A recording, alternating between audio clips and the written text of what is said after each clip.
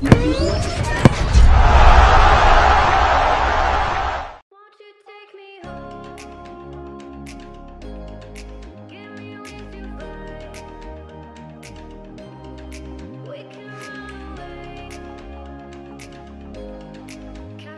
Blues, jumpa kembali di Chelsea TV Indonesia.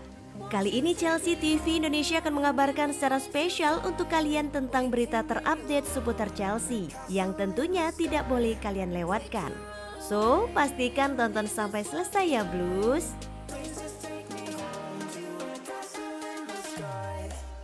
Ditahan imbang Aston Villa, Lampard sebut Chelsea dalam periode sulit. Chelsea memasuki musim dingin ini dengan catatan yang sangat bagus.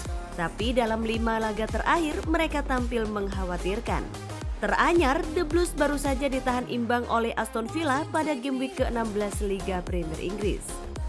Selepas pertandingan, Lampard yang berbicara kepada Amazon Prime mengatakan bahwa timnya tampil bagus di laga kontra Aston Villa dan layak menang. Tapi sayang kemenangan yang diharap Lampard itu gagal didapatkan. Meski gagal menang, juru taktik asal Inggris itu melihat bahwa para pemainnya menunjukkan sikap yang bagus. Sekarang Chelsea tercatat hanya menang sekali dalam lima pertandingan terakhir dan Lampard memandang itu sebagai masa-masa sulit yang dialami tim asuhannya. Meski begitu, ia melihat ada perkembangan dalam timnya. Menurut Lampard, Chelsea harus mempertahankan sikap bagus di laga kontra Villa untuk hadapi kompetisi yang makin ketat. Saat kalah dari Arsenal kemarin, Lampard terlihat begitu frustasi dan menyalahkan timnya yang menurutnya malas. Tapi di laga kontra Villa, pelatih asal Inggris itu mengaku bahwa tak ada yang membuatnya kecewa kecuali kebobolan dan kegagalan mencetak gol. Secara keseluruhan, ia puas dengan sikap yang ditunjukkan para pemainnya di pertandingan itu. Chelsea sendiri kini terdampar di urutan ke-6 klasemen sementara dengan itu, anak asuhan Frank Lampard kini tertinggal 6 angka dari pimpinan klasemen Liverpool.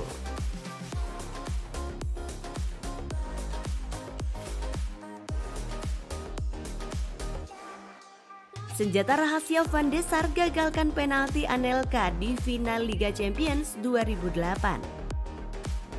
Pada tahun 2008 silam, Manchester United mengalahkan Chelsea di babak final Liga Champions melalui drama adu penalti.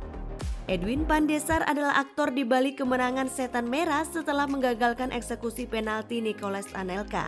Ex-kiper MU itu ternyata punya rahasia dalam menggagalkan eksekusi penyerang asal Prancis tersebut. 10 tahun usai final Liga Champions 2008 tersebut terbitlah buku The Club. How the English Premier League Become the Wildest, Richest, Most Disruptive Force in Sport. Dilansir dari Daily Mirror, buku itu menyebut bahwa Departemen Analisis United memberikan daftar kemungkinan penendang Chelsea saat adu penalti pada Pandesar. Daftar kemungkinan penendang yang diberikan Departemen Analisis nyatanya tak banyak membantu Pandesar karena ia tak bisa menebak satupun tembakan penalti. Barulah saat Anelka menendang, kiper asal Belanda itu dapat menebak dengan tepat. Ia sempat menunjuk ke kiri tapi akhirnya melompat ke kanan dan menyelamatkan bola. Pandesar mengungkapkan kepada 442 bahwa ia telah mempelajari cara menendang penalti para pemain Chelsea, termasuk Anelka. Ia tahu bahwa Anelka sering menembak ke arah kanan. Akhirnya Pandesar melakukan hal yang benar melompat ke kanan dan menyelamatkan gawangnya.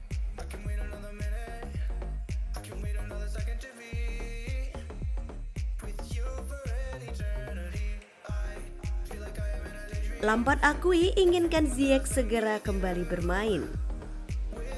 Sejauh ini Chelsea tercatat hanya menang sekali dalam lima laga terakhir dan performa buruk itu bertepatan dengan absennya Ziyech.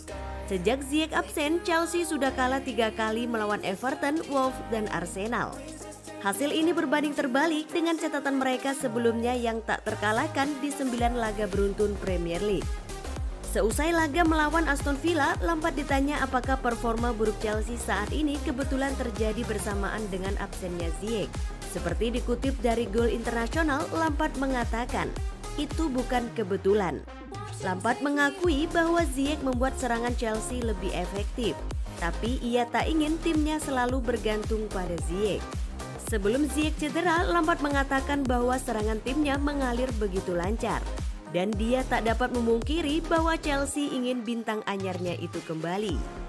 Lebih lanjut pelatih 42 tahun itu kemudian memberi update terkini kondisi Ziyech dengan mengatakan bahwa ex bintang Ayak kemungkinan bisa tampil di laga kontra Manchester City nanti.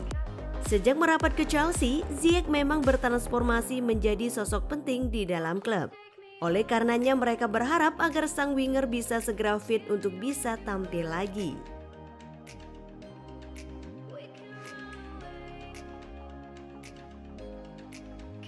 Chelsea tertarik dengan Thomas Tuchel sebagai pengganti Lampard. Baru saja mengantar Paris Saint-Germain menuju partai final Liga Champions di musim lalu. Thomas Tuchel pun dipecat oleh klub Prancis tersebut pada pertengahan musim 2020-2021 ini. Menurut laporan, Tuchel juga disebut tak mau berlama-lama menganggur. Sekarang ia bisa saja mengadakan negosiasi dengan klub lain yang tengah meminati jasanya. Media asal Jerman Bill via Daily Mail menyampaikan bahwa Chelsea termasuk salah satu klub yang tertarik pada Tuchel. The Blues dikabarkan akan merekrut Tuchel jika Frank Lampard gagal membangkitkan timnya lagi dari hasil buruk. Bill juga mengabarkan bahwa Tuchel mungkin akan tertarik untuk mengambil kesempatan menangani Chelsea. Pasalnya ia akan bekerja sama dengan para pemain senegaranya seperti Timo Werner, Kai Havertz, dan Antonio Rudiger. Untuk itu, patut kita nantikan apakah Chelsea benar-benar akan mengganti Lampard dengan Tuchel.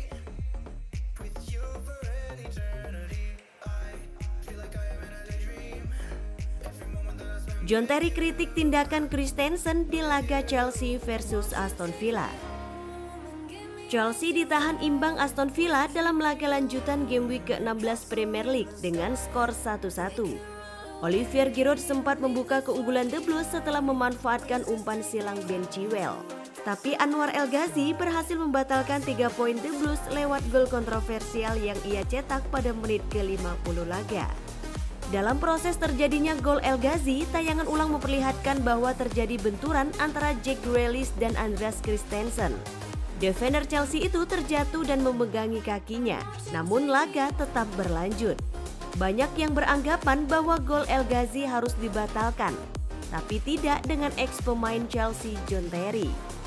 Terry yang kini menjadi asisten Aston Villa mengunggah sebuah video di akun Instagram miliknya tepat setelah laga Chelsea versus Villa. Ia mengatakan bahwa dirinya senang bisa kembali ke Stamford Bridge lagi. Selain itu, ia memuji penampilan hebat Aston Villa yang berhasil menahan imbang Chelsea usai mengalahkan Crystal Palace 3-0 dua hari sebelumnya. Unggahan Terry mendapat respon dari salah satu penggemar Chelsea yang menuliskan komentar. Kau harusnya marah atas gol penyeimbang itu, gol El Ghazi, John. Sportivitas laga ini telah menghilang. Komentar itu pun dibalas Terry dengan jawaban, dia, Christensen seharusnya bangun. Sekilas, Grealish memang seperti melakukan pelanggaran terhadap Christensen sebelum gol El Ghazi terjadi. Namun beberapa orang menyatakan bahwa Christensen juga melakukan tackle pada Grealish. Jadi itu adalah duel 50-50. Dengan itu, Chelsea tak perlu meragukan gol tersebut lagi. Yang terpenting bagi mereka sekarang adalah bagaimana cara mereka bisa tampil bagus lagi.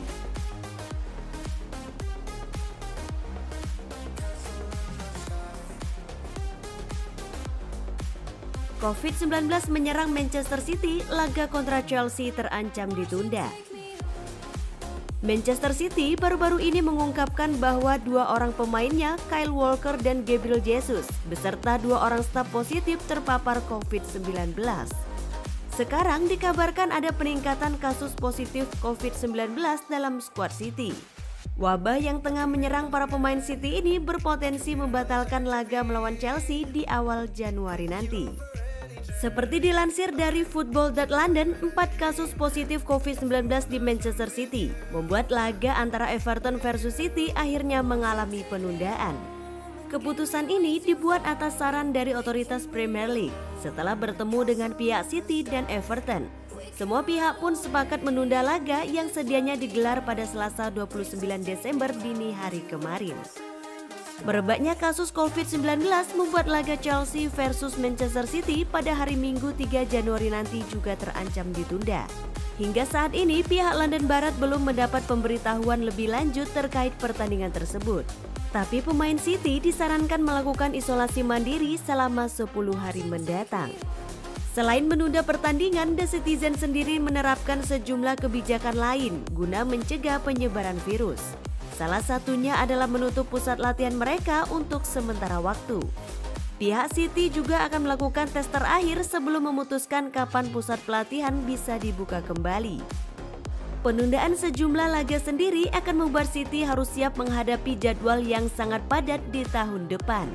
Akan tetapi hingga saat ini belum ada kabar yang pasti kapan pertandingan-pertandingan yang ditunda ini bisa dimainkan lagi.